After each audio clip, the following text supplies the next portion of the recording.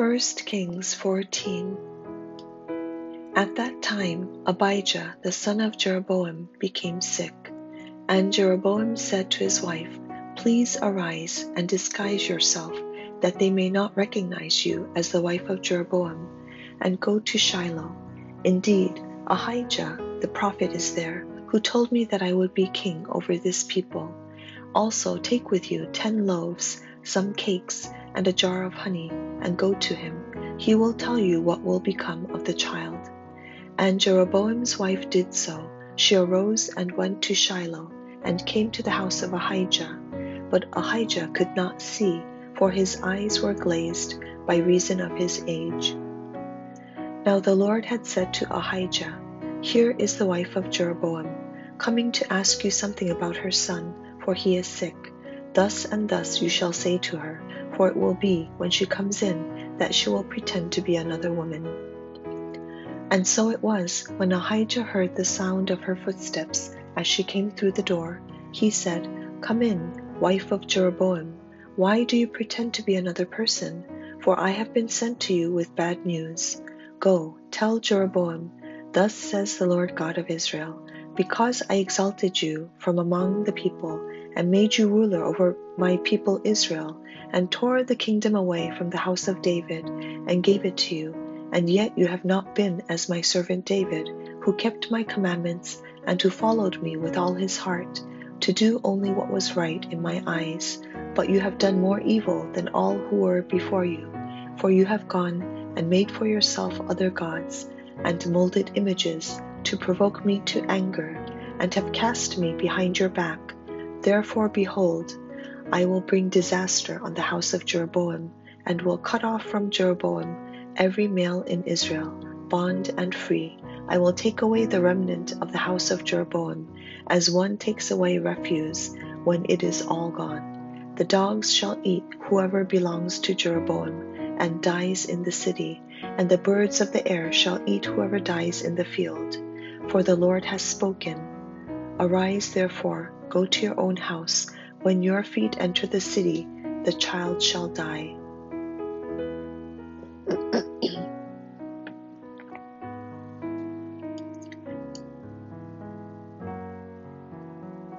and all Israel shall mourn for him and bury him, for he is the only one of Jeroboam who shall come to the grave, because in him there is found something good toward the Lord God of Israel in the house of Jeroboam. Moreover, the Lord will raise up for himself a king over Israel, who shall cut off the house of Jeroboam. This is the day. What? Even now? For the Lord will strike Israel, as a reed is shaken in the water. He will uproot Israel from this good land, which he gave to their fathers, and will scatter them beyond the river, because they have made their wooden images, provoking the Lord to anger, and he will give Israel up because of the sins of Jeroboam, who sinned and who made Israel sin. Then Jeroboam's wife arose and departed and came to Tirzah. When she came to the threshold of the house, the child died, and they buried him, and all Israel mourned for him, according to the word of the Lord, which he spoke through his servant Ahijah the prophet. Now the rest of the acts of Jeroboam, how he made war and how he reigned, Indeed, they are written in the book of the Chronicles of the kings of Israel. The period that Jeroboam reigned was twenty two years. So he rested with his fathers. Then Nadab his son reigned in his place.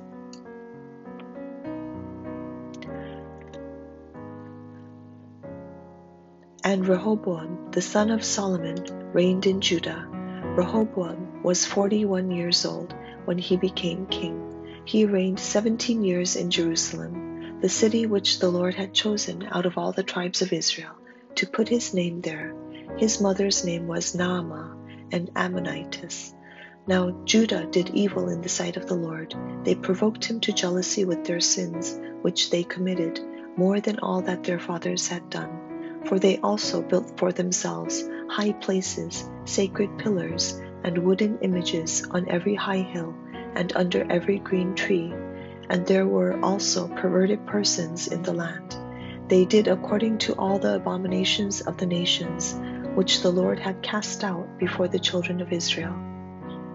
It happened in the fifth year, fifth year of King Rehoboam, that Shishak, king of Egypt, came up against Jerusalem, and he took away the treasures of the house of the Lord, and the treasures of the king's house. He took away everything. He also took away all the gold shields which Solomon had made.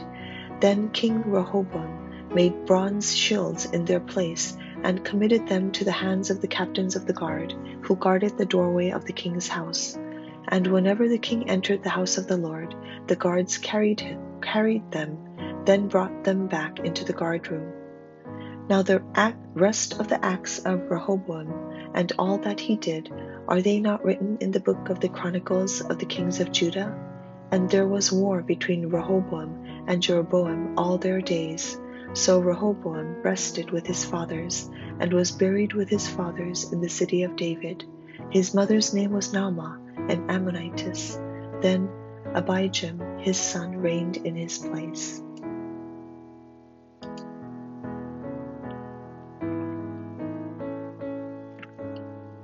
열왕기상 14장. 그때에 여로보암의 아들 아비야가 병든지라 여로보암이 자기 아내에게 이르되 청하건대 일어나 변장하여 사람들이 그대가 여로보암의 아내임을 알지 못하게 하고 실로로 가라.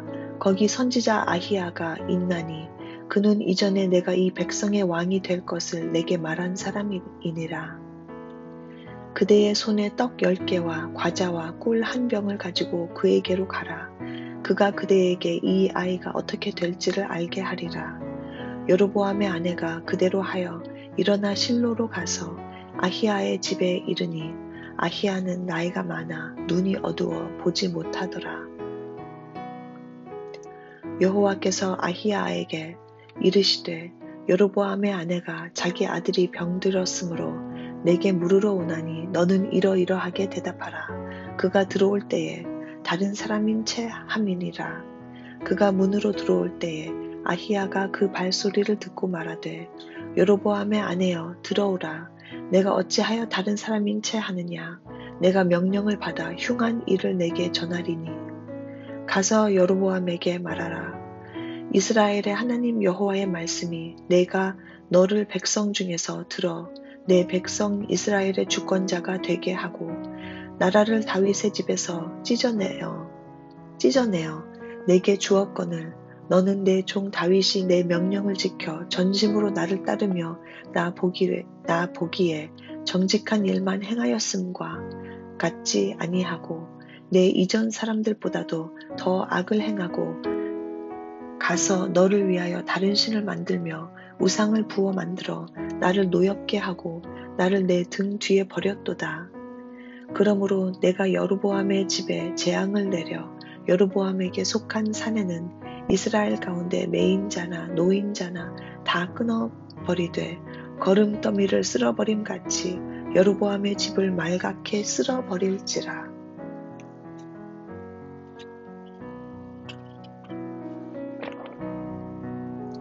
여루보암에게 속한 자가 성읍에서 죽은 즉 개가 먹고 들에서 죽은 즉 공중의 새가 먹으리니 이는 여호와께서 말씀하셨음이니라 하셨나니 너는 일어나 내 집으로 가라. 내 발이 성읍에 들어갈 때에 그 아이가 죽을지라.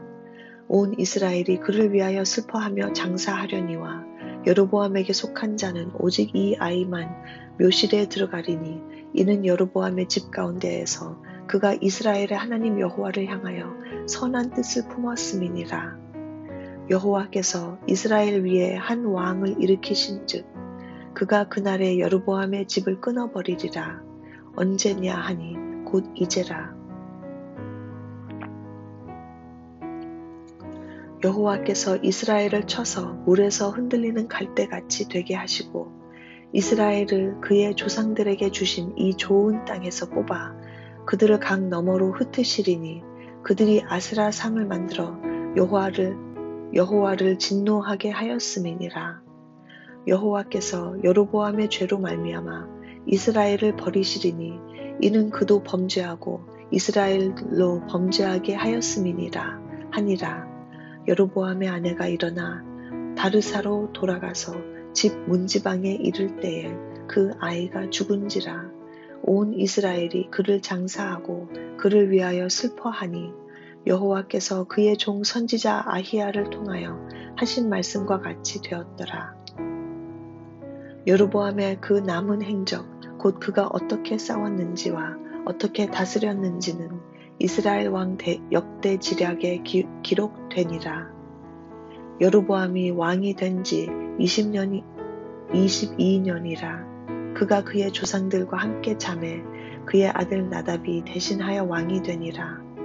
솔로몬의 아들 르호보암은 유다 왕이 되었으니 르호보암이 왕위에 오를 때에 나이가 41세라 여호와께서 자기 이름을 두시려고 이스라엘 모든 지파 가운데에서 택하신 성읍 예루살렘에서 17년 동안 다스리니라. 그의 어머니의 이름은 나아마요 암몬 사람이더라. 유다가 여호와 보시기에 악을 행하되 그의 조상들이 행한 모든 일보다 뛰어나게 하니 하여 그 범한 죄로 여호와를 노엽게 하였으니 이는 그들도 산 위에와 모든 푸른 나물 아래에 산당과 우상과 아세라 상을 세웠음이라. 그 땅에 또 남색하는 자가 있었고 여호와께서 이스라엘 자손 앞에서 쫓아내신 국민의 모든 가증한 일을 무리가 본받아 행하였더라. 르호보암 왕 제5년에 애굽의 왕 시삭이 올라와서 예루살렘을 치고 여호와의 성전의 보물과 왕궁의 보물을 모두 빼앗고 또 솔로몬이 만든 금 방패를 다 빼앗은지라 르호보암 왕이 그 대신 노스로 방패를 만들어 왕궁 문을 지키는 시위대 대장의 손에 맡김에 왕이 여호와의 성전에 들어갈 때마다 시위하는 자가 그 방패를 들고 갔다가 시위호로 시위소로 도로 가져갔더라. 르호보암의 남은 사적과 그가 행한 모든 일은 유다 왕 역대 지략에 기록되지 아니하였느냐. 르호보암과 여로보암 사이에 항상 전쟁이 있으니라. 르호보암이 그의 조상들과 함께 자니 그의 조상들과 함께 다윗 성에 장사되니라. 그의 어머니의 이름은 나아마요. 암몬 사람이더라. 그의 아들 아비암이 대신, 대신하여 왕이 되니라.